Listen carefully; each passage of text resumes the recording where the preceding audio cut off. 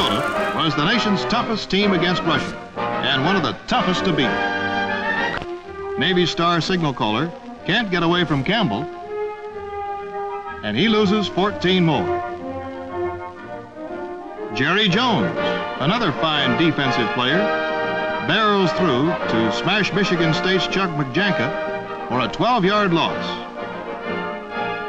Bobby Bell, All-America and All-Conference, Rock Spartan Pete Smith.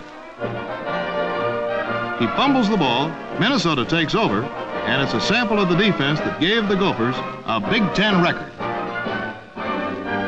Minnesota had an offense, too. Fullback Jay Sharp cracks the Northwestern line. On the draw play goes 52 yards for the touchdown.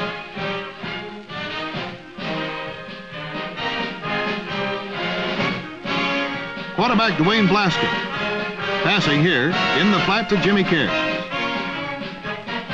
Shifty, speedy, goes 57 yards, outsmarting the defenders turn after turn.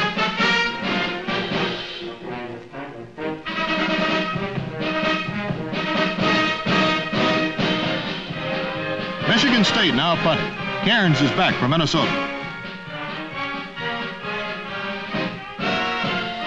He takes it in, pulls away from a tackler, changes direction, and just watch him go. 51 yards and a Minnesota touchdown. One of football's most unusual plays, Blaska throwing to Campbell. Herm Johnson knocks the ball away, but it goes right into the arms of Bill Munsey, who takes it in stride into the end zone for a 44-yard touchdown play. Blaska throws to Campbell.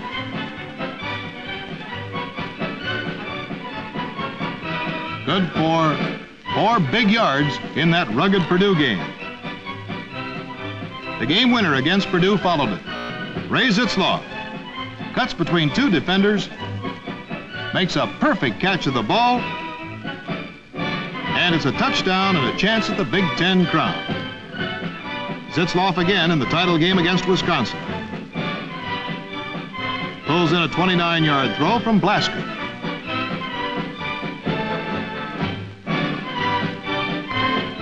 Now, Blaska tries the other side. A throw to Billy Crockett. This one good for 15.